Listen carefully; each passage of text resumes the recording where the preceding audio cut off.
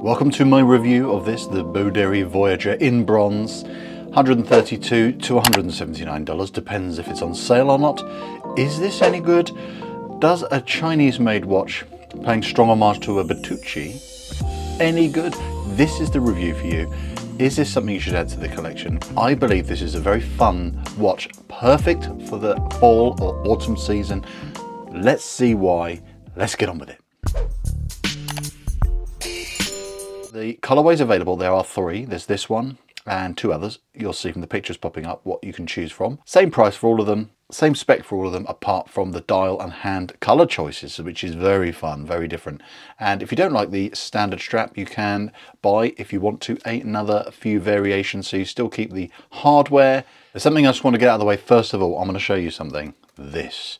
I cut this off. It's the first thing I did. I got this out the packaging and I cut it off and I'll show you why. Effectively, this is quite thick material. If you have this on there as well, adds a lot more bulk and thickness to the wrist. It sits off the wrist nearly, well, it's over 15 millimeters. And as it's only an 11 and a half mil thick watch, that is a lot. And it also makes the curvature of the strap wrapping around your wrist too much material going on. And it means that the available material left when it's wrapped around your wrist for tucking back is just not enough even for my average wrist size. So I cut that off and it's a little life hack for trimming down and making any NATO or Zulu style strap a single pass and it enables you to get better fitment and it sits closer to your wrist. So just starting the video off with a little life hack there. Who'd have thought this review would have started with a bit of helpful trickery going on but let's get on with the stats and specs. I weighed this bronze beauty, weighs 100 grams and that's including being on this strap and that included the piece which I trimmed off. 100 meters water resistance, aided by the screw case back and then this screw down crown, which is 6.7 millimeters in size, so it's a nice big size crown. The case from here to here is only 40 millimeters. The length of the watch, which is the lug to lug from this point to this point, is 48.6 millimeters. The lug width for your straps is 22 millimeters. Just while we're here, you get two different lug holes.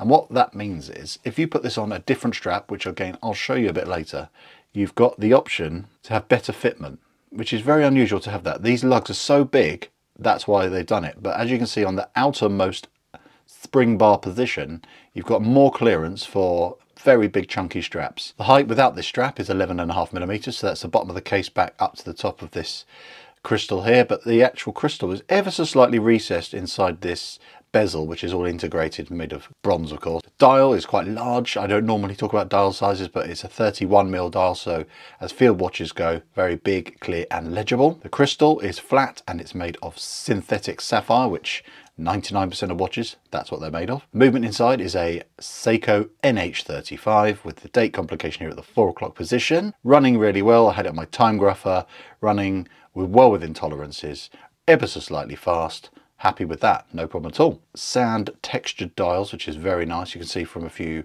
macros. I'll go into more detail again a bit later on. Blued hands loom in the hands and the arabics here which is very cool. These arabics are actually far more legible when the light goes down. A bit tricky to read now but i'll chat more about that in a bit. I went for this one because it's the most bonkers and it's most fun to share with you. It's very different. Not seen a white dial, blue hand, bronze watch before. So I was excited to share that with you guys. And just a little bit more information about bronze. CUSN8 is the code name for this type of bronze. Bronze is effectively a tiny bit of an alloy. It's got copper and a bit of tin. And that's effectively what it is. And what is the benefit of having bronze? This time of year, it's a lovely color. It's the first thing. That's just more of a personal taste. This kind of warm, earthy tone. But the main reason why you have bronze on a watch is it ages, it patinas. When it's exposed to air and other contaminants, if you will, oils in your skin, the more you touch it and rub it and feel it. Sorry if that sounds a bit dodgy. Just talking about your watch here.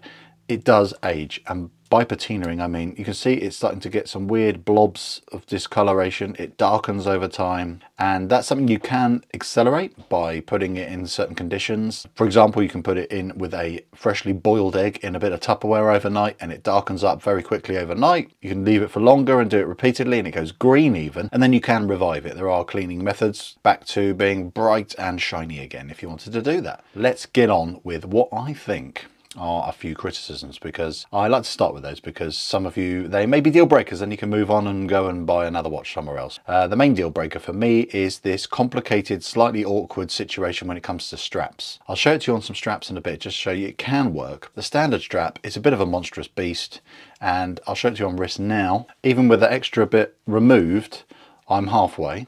Before it was, I was right up here because there was so much bulk. You feed it through here and as you can see, even with my average wrist, there's not a huge amount of material left for the old tuck back.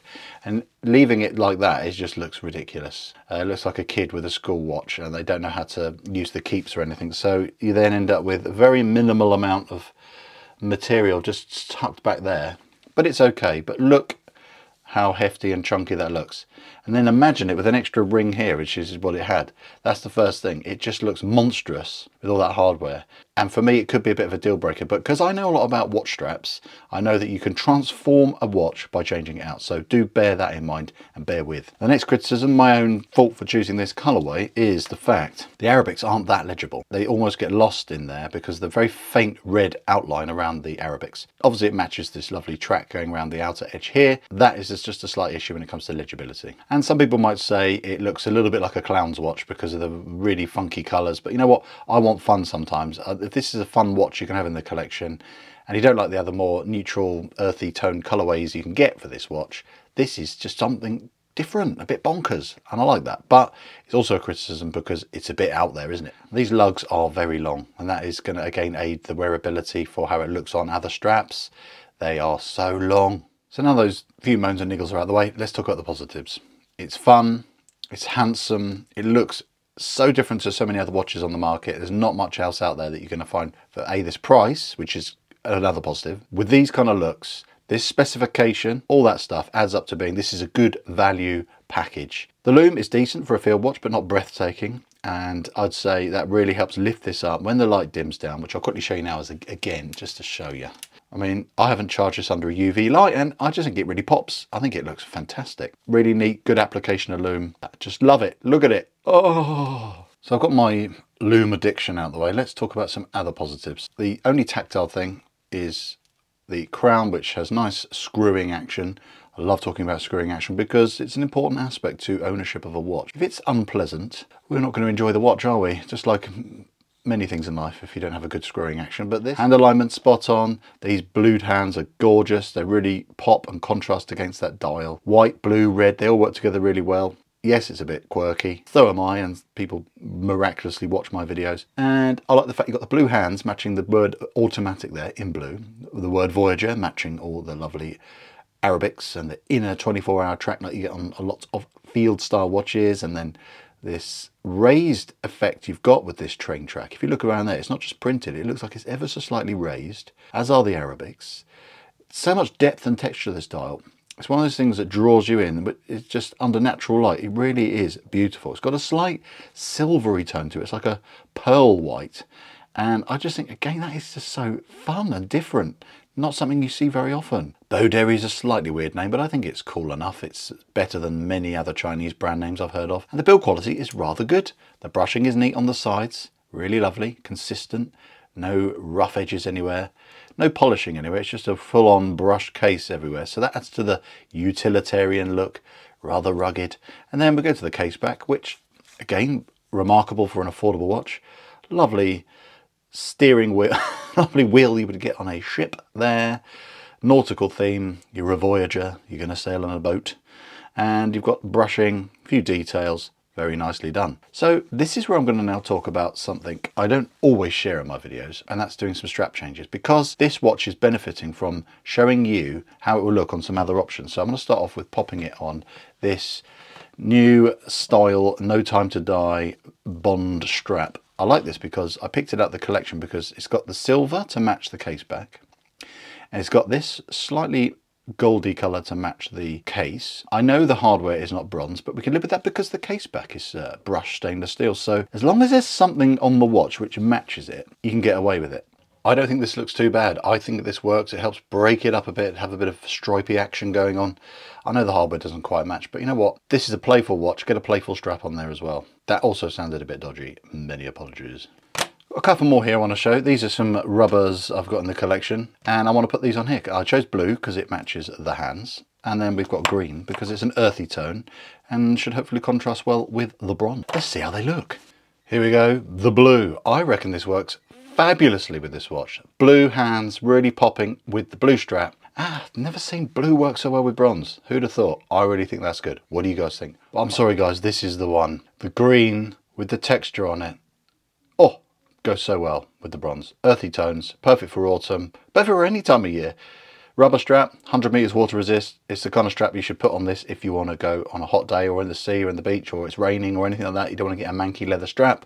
Makes it fit so much better on the wrist.